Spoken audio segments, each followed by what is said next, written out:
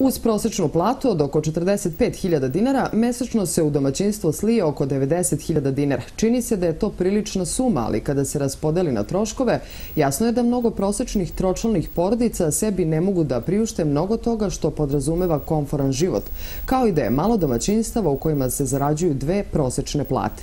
Naravno, ima onih koji zarađuju daleko više i kojima odlazak na letovanje ili zimovanje, kupovina nameštaja automobila ne predstavlja veliki problem, ali istovremeno i mnogo onih koji zarađuju mnogo manje i kojima je problem i da podmire troškove prosečne potrošačke korpe. Za život prosečne tročlane porodice u Srbiji bez većeg luksuza potrebno je dosta novca, a kada se saberu mesečni prihodi i rashodi, izvesno je da rashodi nadmašuju prihode i da novca nikada nije dovoljno.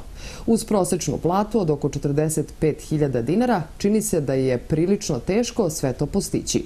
Zbog toga se u Srbiji ili podiže kredit ili pozajmljuje novac ili se vadi iz slamarice. Jer računica kaže da je prosečnoj tročalnoj porodici za konforan život, a to bi trebalo da znači stan od oko 60 kvadratnih metara, automobil, odlazak na godišnji odmor, potrebno više od 115.000 dinara mesečno.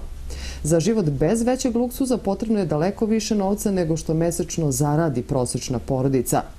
Naime, prosečna potrošačka korpa za tročlanu porodicu teška je oko 68.000 dinara, a ona podrazumeva zadovoljenje, plaćanje ili kupovinu osnovnih potreba. A osim režijskih troškova, tu su i troškovi za hranu, piće, odeću, obuću, kulturu, obrazovanje, izlaske, prevoz, komunikacije. Kada se sve to poplaća iz kućnog budžeta, nestane gotovo jedna i po prosečna plata, a preostalih oko 20.000 dinara mogu se potrošiti na nešto drugo. Najčešće ni taj novac ne postoji, odnosno već je potrošen i to uglavnom na plaćanje kredita. Od onih za stan, automobil, odlazak na more, polazak džaka u školu, kupovinu nameštaja, kompjutera.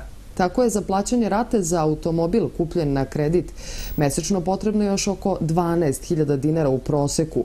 Mnogo je građana koji plaćaju i kredit za stan uz rok otplate na više decenija, pa su im plate svakog meseca opterećene se još oko 100 evra, odnosno oko 12.500 dinara u proseku.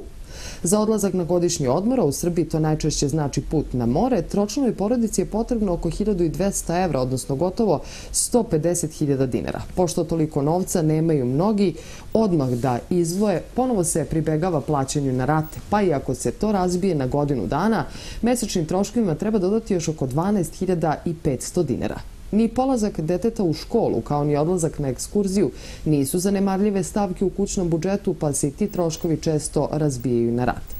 Tako se recimo za kupovinu učbenika koji su oko 10.000 dinara i odlazak na ekskurziju, čiji se cene razlikuju u zavisnosti od destinacije i vremena boravka, kreću i do 40.000 dinara. Mesečni izdatak se povećava za oko 4.000.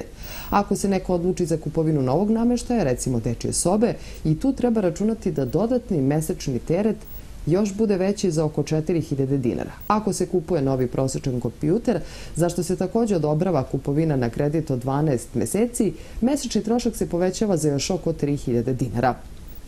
To je naravno samo dio troškova koje bi mogla imati prosečna tročlana porodica, a samo oni znatno premašuju iznos dve prosečne plate. Nije potrebno biti ekonomista da bi se uvidelo da je konforan život veoma skup i da, ma kako da se dinar prebacuje više puta preko ruke, na jednom mestu uštine, na drugo malo popusti, rate prebacuju iz meseca u mesec, krediti refinansiraju, ostaje nedostajućih oko 25.000 dinara.